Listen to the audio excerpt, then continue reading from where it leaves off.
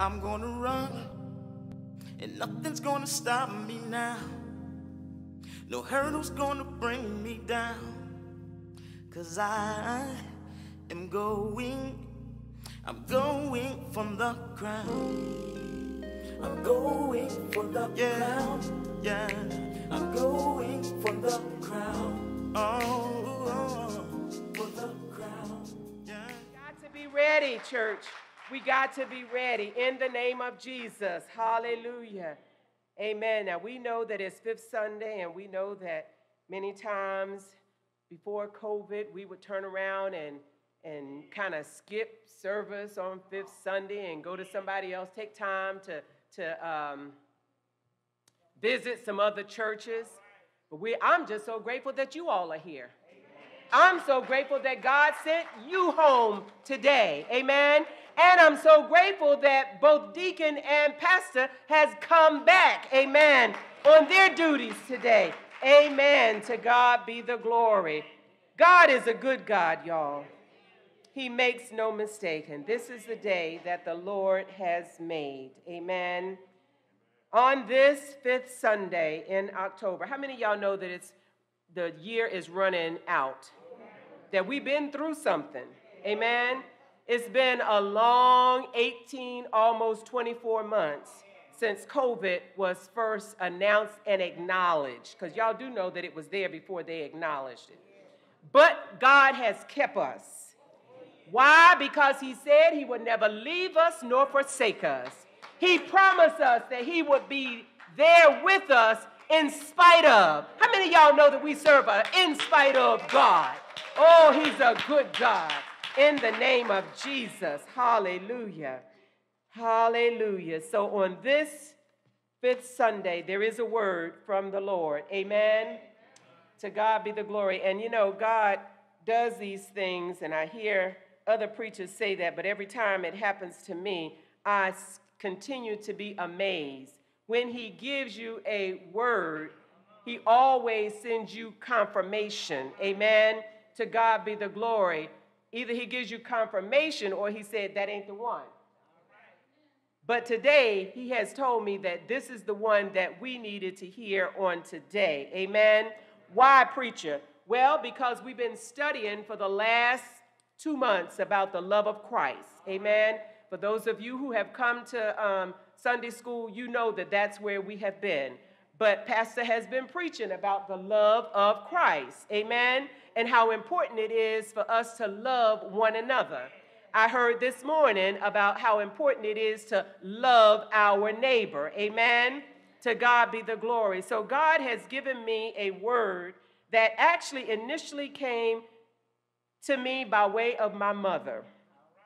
To God be the glory. Y'all know my mother's a mighty woman of God, and, and she used to make notes all over. And I never realized that one day I would have to go back and look at those notes and see it in a different way. And so today, Mother did a little word um, many years ago that um, was uh, titled, um, and I've changed it around and I've added a comp- uh, ready for us today, but her word was God is love. Amen.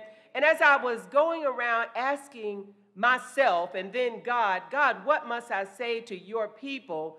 God be the glory. And I was cleaning out some stuff that, um, that was in the closet. How many y'all know y'all got stuff in your closet?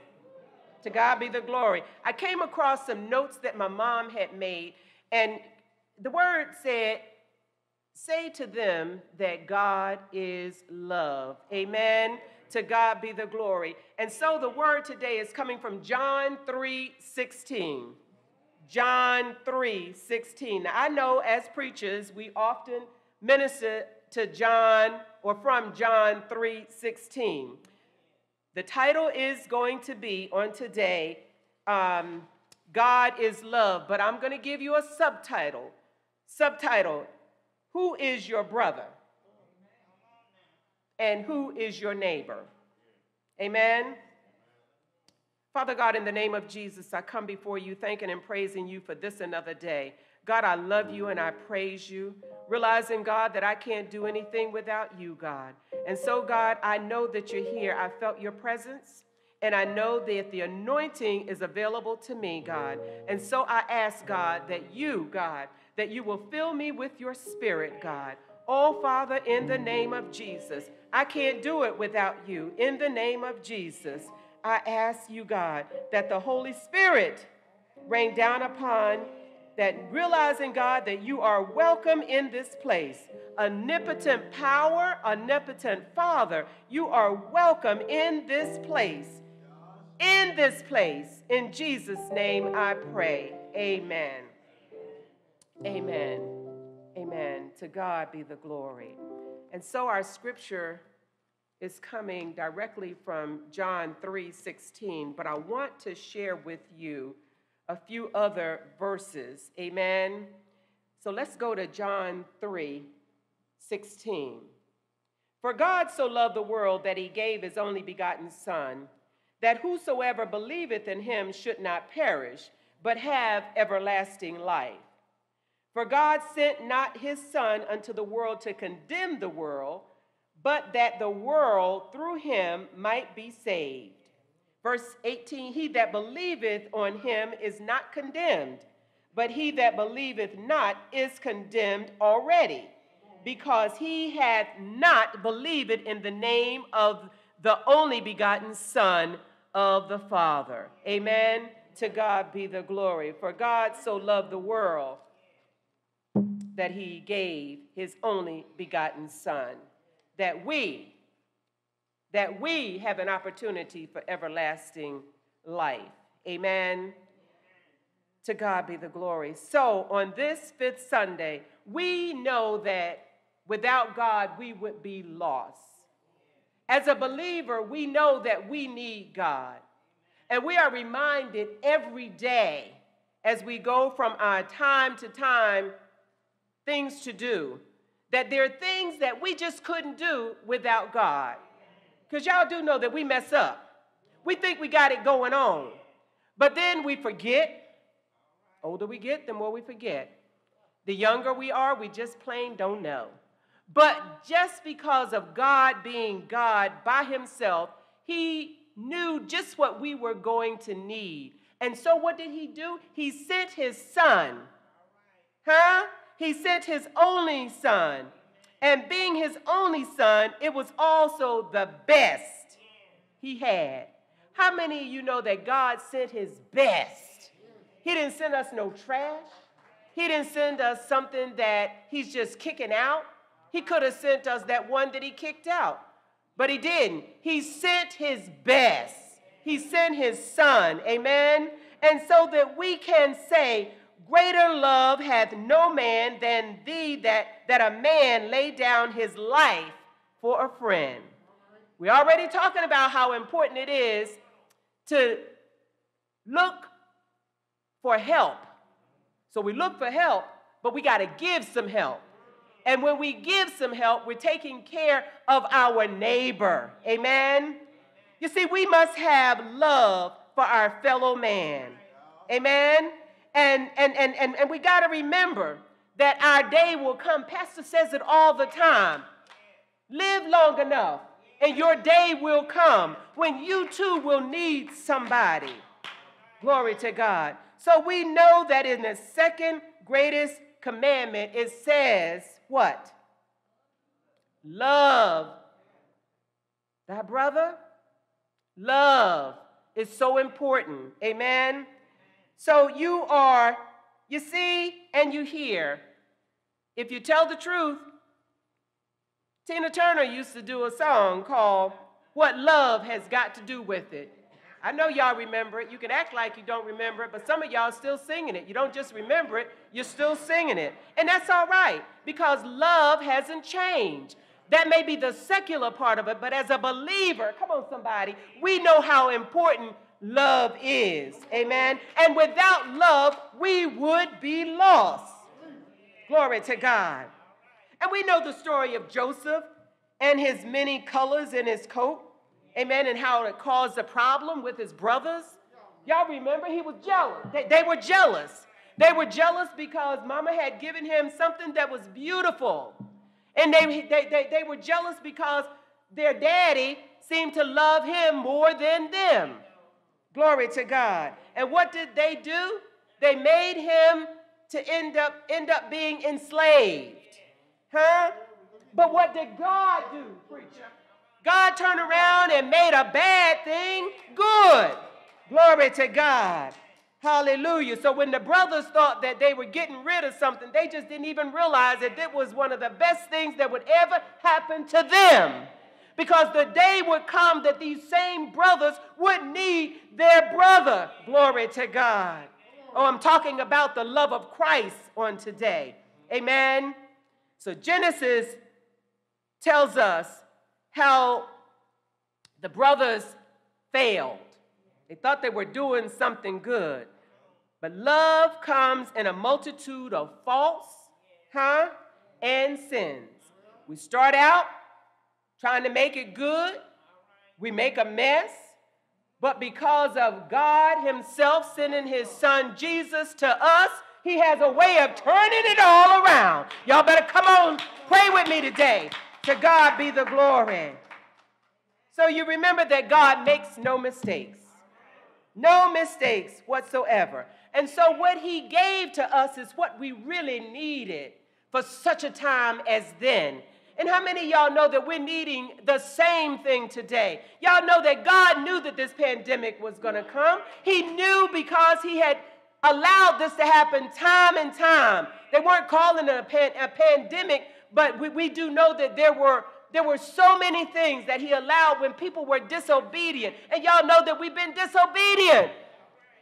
But even in this, in the midst of our disobedience, God sent his son to remind us that even day, every day, every day, that he would protect us, he would keep us. Amen. He would be there for us. How many y'all been hungry since the pandemic come? That's what I'm talking about. How many y'all been thirsty with the, with the pandemic? That's what I'm talking about. God has taken care of his people. Amen. In spite of, huh? To God be the glory. If you didn't have it, he sent somebody to provide for it. That little box that ended up on your on, on your step, somebody sent it. You say, well, who did that? I say God sent it. God sent it by way of his son, Jesus. Glory to God.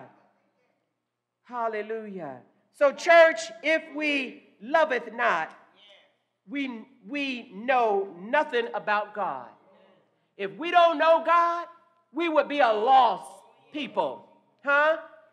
Look around with the neighbors who don't know God, struggling struggling so much that they don't even know. They're worse than somebody who's psychiatrically in, psych- in, in crisis because they don't know God. But I come before you today that we still have a responsibility. You see them. We talked about it in Sunday school this morning. It is our job to help somebody, it's our responsibility. Why? Because these are our neighbors. Glory to God. And when your neighbor is down, you're down. Come on, somebody. You may not know it, you may not want to help, but the bottom line is that when your neighbor, mother, is down, you are down in the name of Jesus. Glory to God. It is our responsibility to help somebody, it is our job to help somebody. It is our everyday, every day there's an opportunity for us to help someone just because Christ imparted love in us. Amen? Little things become great things. Huh? Little things that you do become great things. It ain't about you to puff up about it or be proud about it. It's for you to say, Thank you, God. Thank you, God, that you made a way out of no way for somebody through little old me. Ah, I thank God for it. I thank God for who He is in my life. I thank God because He took this wretch like me, huh? Made something good out of me. Made me somebody that somebody might want to say, First Lady, because I want to tell you, 40 years ago, nobody would have called me First Lady. Glory to God. But I thank God today, it is greater than a title, it is an honor. To God be the glory. Oh, I thank God today. I thank you, God. Thank you, Father. Thank you, God. And I say that He can do the same thing for you. I don't care what you struggle with. I don't care who you think you might be that nobody wants to emulate. But God can clean you up. God can make you white as snow. He can make you. He can make you be his child. He can make you to the point where somebody would say, I want to be like her. To God be the glory. I don't know what she got, but I want some of that. Glory to God. And then you can say, You don't know my story. But let me tell you, let me tell you how I got where I am today. Let me tell you, you turned me around. Hallelujah. God be the glory. Oh, I made mistakes just like anybody else. I ain't been perfect. But God said, if you live right, if you live right, heaven belongs to you. He said, get right with God Let him know who you belong. Let him know that you are, you are my child. I'm to tell you that is my father. He's my everything. Ah, glory to God. He makes me feel good. He walks with me. He talks with me. He lets me know that I'm his child every day. When I walk into, into the job and they cussing, they respect me, they stop. You know what they say? They say, that's Nurse Holland. Give her respect. So God will make people respect you. To God be the glory. Hallelujah. He will make children look at you and say, I want to be a nurse like her. To God be the glory. God will do it. Glory to God. Oh, he's an on time God. Ah, and he's an on time all, all the time. To God be the glory. Hallelujah. So God is love, church. God is the one that makes wrong right. God is the one, hallelujah, who make you want to get out of your bed in the morning. He's the one that puts food on your table. He's the one who puts clothes on your back. And he does it through his son, Jesus. For God is love. Because when he sent his son to us, his son taught us to love one another. Jesus teaches us even today how important it is for to treat people right. Sometimes people say, First Lady, you got to be tired. And I say, I am. But the God that I serve keeps me going. Huh? To God be the glory. And I'm telling you, He'll do the same thing for you. Sometimes I tell Pastor, I'm so tired. But God, but God, God will never leave you. He will keep you. He will give you just enough sleep so that you can do what you need to do. Huh? And I tell people all the time that we're all servants. God has taught us that we're all servants. When you turn over your life with God, you may you have a commitment to serve Him, to, to learn what's in this book. Huh? So you can walk what's in this book. So you can talk what's in this book. Glory to God. To God be the glory. God is a good God. God is a good God. And finally, John 14, 23 says, If a man loves how me, he will keep my word, and my Father will love him, and we will come into him and make our abode with him. What does that mean? If you love God, God will turn you around so that you will get excited, huh? For him, for yourself, about him, huh? You'll be excited about coming to Bible study and Sunday school. things that maybe you never was excited about it before. We got a young lady that I'm sure never thought that she would be teaching Sunday school, but she's teaching Sunday school now. Is she perfect? No. But God said He can use anybody. Come on, y'all. So you can do things in spite of who you look in the mirror and find yourself to be. Because God will clean you up, turn you around, make you who He needs to be. The preacher ain't perfect. The pastor ain't perfect. But God continues to use them. So look in the mirror and find out what God wants you to do because you are servants and there's work to be done. We are winding up this time on this side and we want to be ready when He calls our name. I don't know about you, but I'm living to live again. I'm asking God to allow me to live long enough. Amen.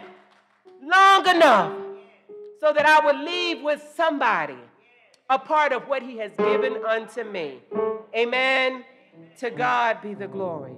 And so, as a Christian, as we claim ourselves to be Christians, we don't have to try to tell them that we're perfect. We're not. But what we can tell them is that we're living for Christ. We're trying to get this thing ready. And I've got something to tell you. So, all you have to tell them is, For God so loved the world, his only begotten Son, he sent him just for us don't you want to know a little bit more about that? Amen. And it opens the door for so many. Amen. Because y'all know there are people who want to know Christ. There are some people who want to know Christ. All they're doing is waiting for an invitation an invitation for their life to be better, an invitation for it to come out of the, out of the gutter, huh? To God be the glory. To come out, out of, of, of living on the streets, living in alleys.